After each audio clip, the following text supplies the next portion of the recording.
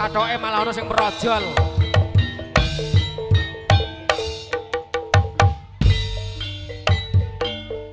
oke. Ayo wis dibenakno kathoke ya.